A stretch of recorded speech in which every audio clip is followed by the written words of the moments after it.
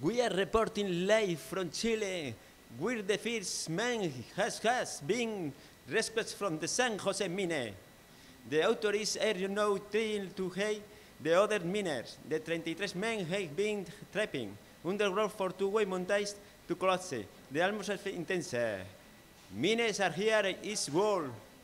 Close. we will return minutes when more news.